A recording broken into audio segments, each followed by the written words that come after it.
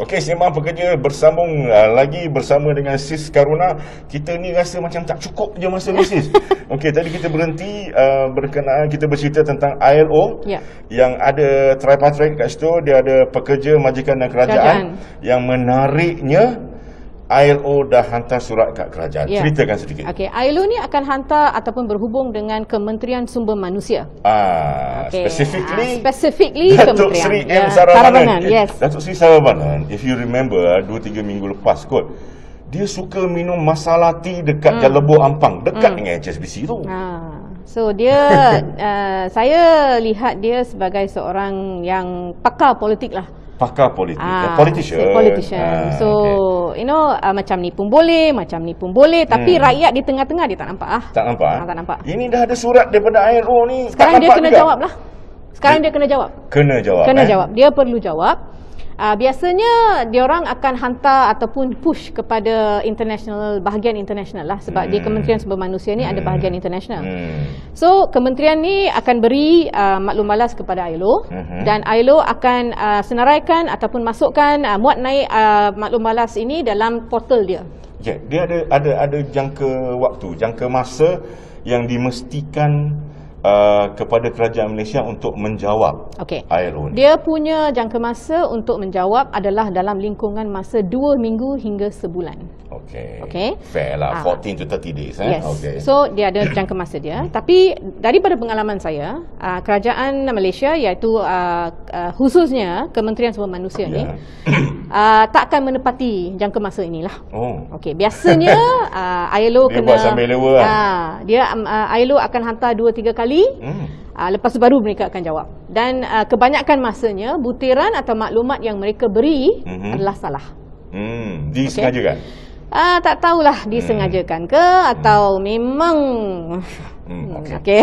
so so uh, you know so Hmm, dari segi ya, itu ya, so ya, kita ya. perlu kita perlu uh, monitor dan Hmm. kita perlu betulkan maklumat Hmm. itu Hmm. uh, dan uh, kemudian ILO akan uh, siasat Hmm. okay, uh, berdasarkan maklumat yang diterima Hmm. ILO akan siasat dan setelah uh, uh, menyiasat okay, dan kalau maklumat tak cukup atau kalau maklumat itu uh, tidak menepati apa yang mereka cari dan Mhm. sebagainya mereka Mhm. akan berurusan lah okay? so Okey. benda ni akan mungkin heret sampai 2-3 bulan oleh kerana MOHR Mhm. lambat memberi maklum Dia balas tidur sis. Hmm. Dia tidur dalam keadaan buta dan bekak. Dan bisu Dalam bisu. Hmm, okay. Bisu, ah, tidur tak boleh sis. cakap lah kan, ah. Dah, tadi sis cakap OECD dia boleh adakan sanctions ataupun Yep. sekatan ke atas UK. Yep. Kerana HSBC adalah syarikat yang beribu pejabat di Yep. UK. ILO apa dia boleh buat? Okey, ILO dia boleh buat dua perkara. Hmm. Pertama sekali dia boleh adakan direct contact mission ke Malaysia. Direct Contact, contact, mission. Okey. Okey, apa yang Alright. direct contact mission ini akan buat ialah katakanlah uh, aduan ini tidak diselesaikan. Mhm. Okey, berulang kali tidak Mhm. diselesaikan dan Mhm. naik ke ILO uh, Mhm. turut-turut setiap tahun. Mhm. Mereka akan hantar ekspertis mereka Mhm. untuk datang ke sini Mhm. dan siasat apa yang sebenarnya sedang berlaku Hmm. dan Mhm. dan mereka akan bagi laporan kepada ILO. Hmm. Nah, selepas direct contact mission Mhm. memberi rekomendasi Mhm. untuk uh, memperbaiki keadaan, Mhm. kalau Malaysia masih enggan untuk melakukannya, maka ILO boleh refer kepada International Court of Justice. Bermakna ILO secara ringkas boleh bawa kerajaan Malaysia uh, lebih lagi lebih-lebih lagi yang diwakili oleh Kementerian Sumber Manusia Ya. ke peringkat Mahkamah Antarabangsa. Correct. Dek kerana HSBC ni. Yes.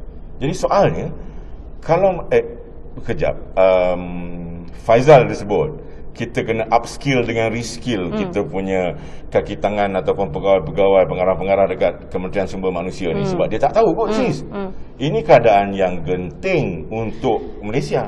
Actually dia bukan keadaan yang genting ya. Uh, ini keadaan yang akan um, membawa ataupun uh, mengeruhkan imej dan reputasi Malaysia. Ya, ya, Okey. ya.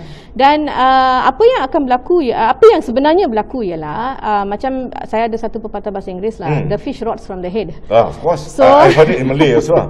I've heard so it in Malay. so yeah. uh, uh, menteri sumber manusia Mhm. um, tak boleh nak uh, tunjuk glamour dekat luar lah. Hmm. Okey. Minum minum teh masala pakai suit. Ah, so okey. you nak tunjuk glamour dekat luar, Hmm. ah, tapi kena ingat ya, kamu dilantik oleh rakyat Malaysia untuk menjalankan tugas kamu sebagai Menteri Dah Sumber diberikan Malaysia. amanah pun. Sudah. Hmm, hmm. So bila you tak menjalankan uh, tugas kamu dan you pura-pura you tak tahu apa yang sedang berlaku, you terkejutlah tiba-tiba dan sebagainya. Hmm, hmm. Okey.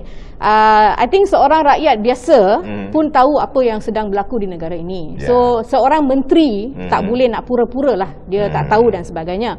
So uh, dia perlu jawab. Hmm. Okey dan biasanya pada pengalaman saya uh, bila kita bawa kes-kes ke ILO Mhm. International Labour Organisation wakil-wakil M- MOHR ni tak berapa suka lah. Mestilah. Ah, so, dia tapi dia kena faham. Dia ke peringkat antarabangsa kan? Tapi dia kena faham Hmm. kenapa aduan ini boleh pergi ke Hmm. peringkat antarabangsa Hmm. sebab you tak buat kerja you. Hmm. Okey betul, sebab betul. you Hmm. ambil gaji Mhm. tapi you tak jalankan tugas you. Ah, itu itu Itu derhaka ya. besar tu. Kesalahan itu itu tu. derhaka kepada Ya. rakyat ya. Ya, melanggar amanah rakyat lagi. Ah. Hmm. So rakyat sahaja yang boleh ubah perkara ini. Mhm. Sebab HSBC ni dia ada dia punya customer. Ya, ya. Hmm. So kalau saya sebagai seorang pelanggan, Mhm. kalau saya tahu bank bank yang di mana saya simpan duit ni, Mhm. okey, Mhm. melanggar hak asasi manusia, Mhm. saya perlu soal. Ya. Okey, kalau tidak, saya pun turut Hmm. ter, termasuk dalam dosa yang dilakukan Ah, terhadap pekerja-pekerja you, ni. You, you pun sama macam kartel-kartel yang macam dekat luar negara ada banyak kartel yang pernah berurusan Correct. dengan HSBC Mafia-mafia, ha. ni. Mafia-mafia ni. Hmm. Jadi sis, uh, masa mencemburui kita sis, Okay. kita dah sampai ke penghujungnya. Saya nak ucapkan terima kasih dan tahniah bagi pihak rakan-rakan saya yang selalu datang kat sini, Yus, uh, Faizal dengan Rahmat Okay. uh, yang sentiasa bawa aduan keluh kesah uh, Pekerja. golongan pekerja di sembang pekerja ini sis pun hari ini datang bawa sembang pekerja ke peringkat antarabangsa sis saya bagi pihak sembang pekerja uh, mendoakan segala usaha yang uh, NUBE Lakukan. dah buat dah bawa ke peringkat antarabangsa you gone international sis you gone international Yes.